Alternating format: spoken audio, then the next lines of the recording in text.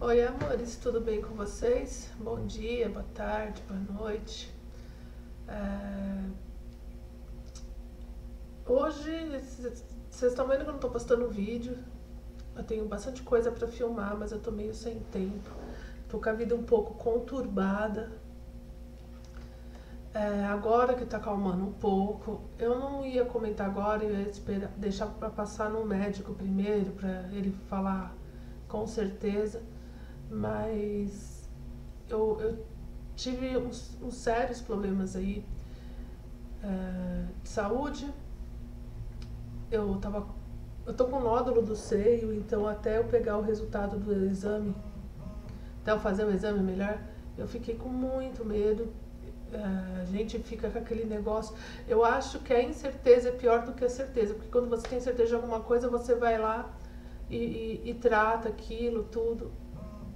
E, e a minha incerteza me deixou muito chateada, eu não queria fazer mais nada, eu só ficava pensando, eu não conseguia me concentrar nas coisas. Eu ainda não passei no médico, ele está marcado para o dia 10, é, só que o resultado do exame fica pronto no dia 10, então eu não sei se eu vou conseguir ir no dia 10, eu só vou ter que adiar. Eu vou ligar lá no dia 9 para saber se eu, ele já está pronto. E se ele tiver dia 10 eu vou no médico. Mas a, a própria técnica, a própria médica que fez o, o a, meu exame falou que não é nada de grave, que é só eu fazer acompanhamento é, é, todo, todo ano, bonitinho, que não tem características nenhumas de ser maligno. Então, eu só vou passar no médico por passar mesmo. Não tô mais preocupada. E eu tive também o problema lá do pólipo no útero. Para quem não, não sabe, o pólipo é uma espécie de tumorzinho benigno. É, normalmente não causa nada, mas se ele ficar lá é, é, perigoso virar alguma coisa pior. E o meu pólipo, ele tá meio grandinho e ele tava sangrando.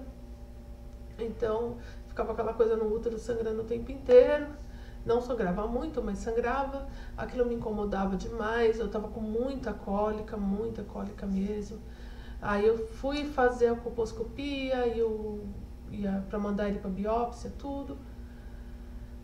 A médica não quis fazer porque eu tava com sangramento e falei, caramba, se essa porcaria tá sangrando, como é que eu não vou fazer o exame? Tem que tirar isso, né? Aí eu tive que ir lá na minha outra na minha médica de novo pegar um outro tipo de pedido médico mais esclarecedor do que ela queria para voltar. Aí o médico que me atendeu tirou, foi super simples, sem problema nenhum. Vida nova a partir do momento que eu saí lá do, do, do consultório. E ele me falou: se você veio aqui no dia tal, a médica devia ter tirado aquele dia.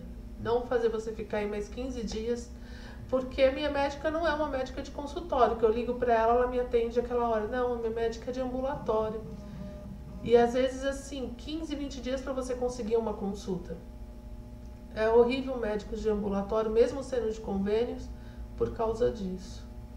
Mas até então tá tudo bem, não tenho nada de grave, gente, tô ó, 100% aquela dúvida, eu ficava postando que eu estava na escuridão e eu tenho medo da escuridão, realmente disso, é, a escuridão era a minha incerteza. Eu não queria ficar falando em rede social, me desabafando. É... Mas agora tá tudo certo. Só que com isso eu acabei é... me atrapalhando um pouco nas minhas coisas. Vocês sabem que eu estou abrindo a DG Online, que é uma editora e construtora não era minha intenção publicar ninguém, mas aí tem umas, algumas pessoas estão vindo até mim pedindo uma ajudinha aí e pedindo para publicar pela editora, pela DG. Então eu estou abrindo algumas exceções. A maioria são, meu são meus parceiros e amigos íntimos mesmo. É, já me consultaram para, já me consultaram, já me convidaram para dar duas palestras em duas escolas. Eu estou super é, feliz com isso. Outra coisinha é, que também me atrapalhou um pouco foi na pesquisa, que é sobre isso que eu quero falar com vocês, do, do meu livro A Noiva da Rua André Costa. Ah, para quem não sabe, eu me associei à Berst, a Berst, que é a Associação Brasileira de Escritores de Romance Sobrenatural, Policial e Terror. E tô gostando muito, o pessoal é bem legal, eu tenho aprendido bastante. Ela fez um ano de, da sua fundação no começo de setembro, acho que foi no dia 2 de setembro, mais ou menos. É, tem várias pessoas é, associadas, como Rafael Montes, a Cláudia Lemos, é, é, Lemos, acho, é a presidente da associação, tem o Tito Prates, que ele é um dos diretores, bastantes escritores que eu já conheço, como a Amanda Resnor, a Vera Carvalho Assunção, que foi quem me indicou, o Marcelo Augusto Galvão, que eu respeito pra caramba. É, são pessoas incríveis, gosto muito, eu tenho Fora um outro pessoal que eu estou conhecendo, o Francis Gracioto, é, o Duda Falcão eu já conhecia das redes sociais, ele também está lá. Eu estou lendo uma antologia feita pela Bert, que é. Esqueci o nome. Que pecado, gente do céu. É, eles lançaram um e-book por R$1,99. Por favor, comprem que está muito interessante. Continue nos escutando. É, são contos de pessoas ou de seres que morreram e ou de pessoas que escutam pessoas mortas. É uma, é uma, uma mistura bem interessante de crimes com sobrenatural. Eu estou gostando pra caramba. O que mais eu posso falar para vocês essa minha correria antes de falar da pesquisa? Então, aí eu, eu tava revisando o livro da Nina, já mandei para ela tudo. Logo a DG Online vai estar tá lançando o livro da Nina Maia. Eu abri o site, tá lá da Wix, é, nas minhas redes sociais tem o, o link.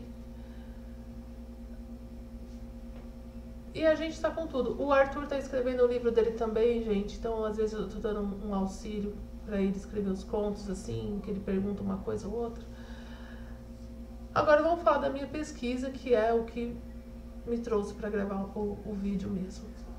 Esse, como vocês sabem, eu estou escrevendo um livro baseado em fatos que aconteceram no Jaraguá, em causos que alguns moradores antigos me contaram.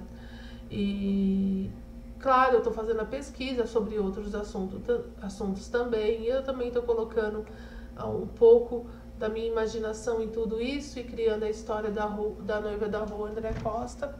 E eis que durante uma pesquisa eu estava na casa de uma mulher que mora aqui há muitos anos e ela está bem doente até, está internada agora e eu estava conversando com a filha dela e a filha dela falou assim, Débora, eu preciso de um hotel para deixar os gatos da minha mãe porque eles estão super estranhos, super estranhos. Eu, mas por quê? Ah, ela falou assim, desde que minha mãe saiu, eles não comem, e eles não é por causa da minha mãe, porque minha mãe já ficou internada muitas outras vezes, e, e eles não ficaram assim, mas eles não comem, os pelos deles estão caindo, eu já levei na veterinária, achei que tinha envenenado, os bichos não são. É, eles estão extremamente estressados. Esses dias eu vim colocar comida e água para eles. Eles não são roeiros, são castrados.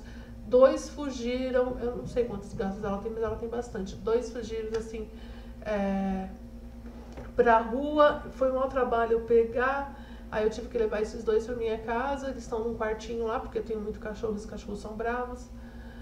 E eu não sei mais o que eu faço. E a gente conversando, eu falei, ah, ela não quer doar, porque se ela doar, a mãe dela morre de desgosto porque ela ama os bichos.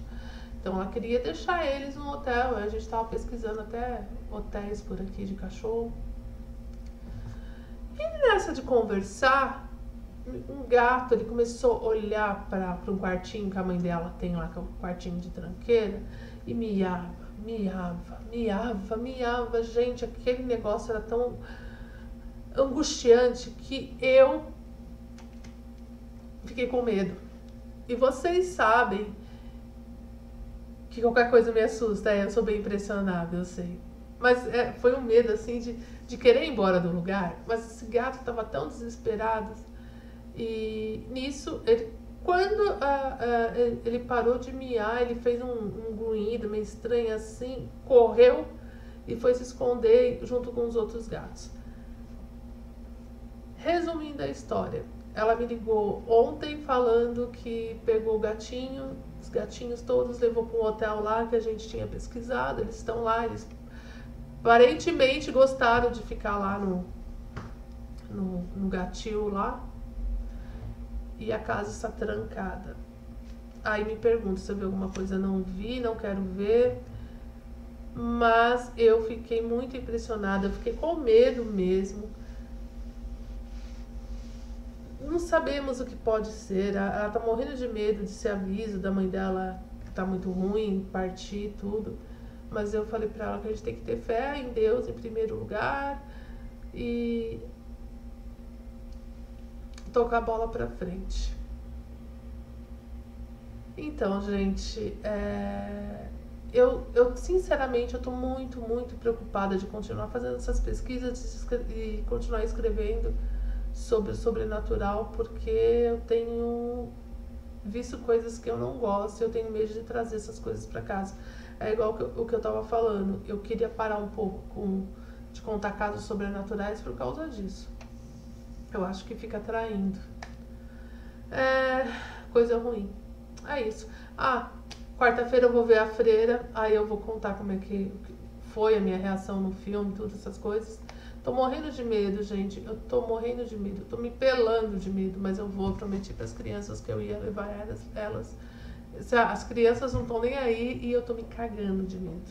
Essa é a verdadeira é, situação. Mas é isso, gente. Eu vou logo colocar minha vida em ordem, vou trazer mais é, comentários de livros para vocês. O, minha coisa, eu tô na metade do Baratas. Eu tô quase na metade lá no as coisas que você vê quando você desacelera. Eu tô quase chegando na metade da coletânea da Brecht. Continue nos escutando. Tem é, terminei série nova, terminei os eu preciso, eu preciso ver mais séries novas. Na realidade, tô querendo ver uns filmes diferentes aí com o Arthur. Vou ver se esse fim de semana dá. E é isso, gente. Um beijo enorme para vocês. Fiquem com Deus. Tchau.